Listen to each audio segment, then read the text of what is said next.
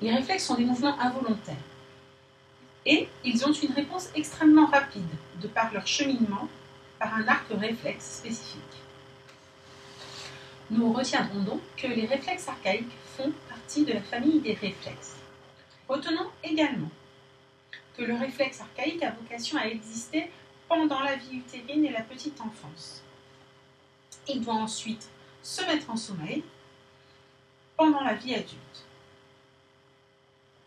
On distingue les réflexes archaïques des réflexes de vie, des réflexes posturaux ou des réflexes d'intégrité qui, eux, au contraire, doivent être présents pendant la vie adulte.